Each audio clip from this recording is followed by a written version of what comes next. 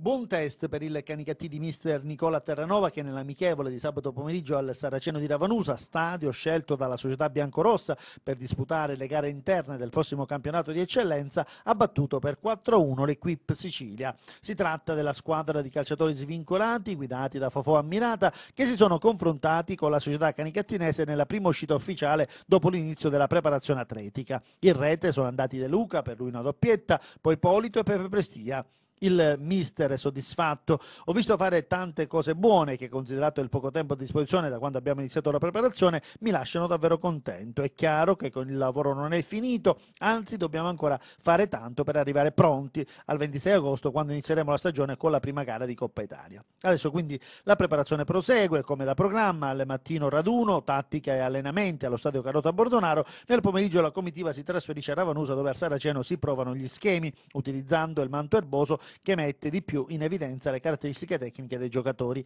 Ci saranno altre amichevoli? Noi speriamo di sì, anzi ci saranno, dice ancora Terranova. Il problema è che mentre noi abbiamo iniziato la preparazione ancora non ci sono altre squadre che sono partite. La società del presidente Angelo Licata penserà anche a questo. Non sono un venditore di vittorie nemmeno del bel gioco, ha sempre detto mister Terranova, sono un ragazzo, un allenatore che ha tanta passione e che ci mette il cuore in quello che fa. È chiaro che sono orgoglioso di rappresentare questa città a livello calcistico, non voglio promettere nulla nulla di particolarmente importante alla società se non quello della massima professionalità e del lavoro fatto bene. Ma quale sarà l'obiettivo da raggiungere? Il primo, spiega il mister, è quello di migliorare la performance dell'anno scorso, diminuire il gap con la prima e la seconda. Stiamo lavorando per allestire una squadra migliore che si possa potenziare nei settori di campo dove ce n'era bisogno. Sono un allenatore da campo, innamorato del mio lavoro, sono convinto che con il lavoro assiduo si può sempre sorprendere chiunque.